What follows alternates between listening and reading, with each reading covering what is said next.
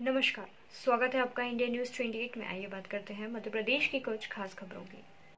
मध्य प्रदेश के मुल्ताई में वैश्य महासम्मेलन, जिला बैतूल के द्वारा मुल्ताई में विशाल निशुल्क चिकित्सा एवं नेत्र जाँच शिविर का आयोजन।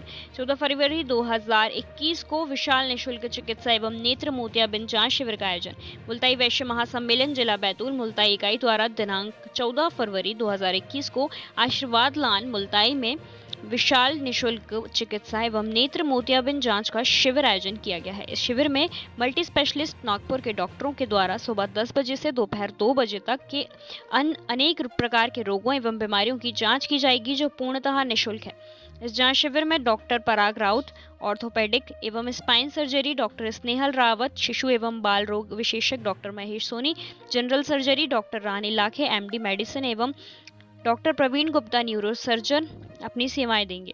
ये आयोजन मोनू खंडेलवाल, प्रशांत भार्गव, देवेंद्र धोपड़े, चंद्रकांत शर्मा के नेतृत्व में किया जा रहा है। बैतूल जिला ब्यूरो, राजेश खड़से की रिपोर्ट। वैश्य महासम्मेलन मध्य प्रदेश जिला इकाई बैतूल के तत्वाधान में दिनांक 14 दो 2021 को मुल्ताई में स्थानीय आशीर्वाद लॉन में एक निशुल्क चिकित्सा शिविर और आइस चेकअप कैंप मोतियाबिंद के ऑपरेशन हेतु लगाया जाएगा।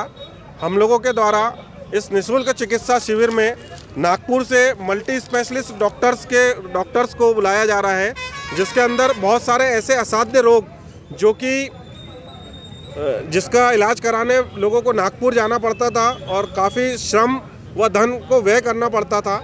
यहाँ पर हम लोगों के माध्यम से निशुल्क चिकित्सा का शिविर लगा करके जनसेवा का यह प्रकल्प जो है किया गया है।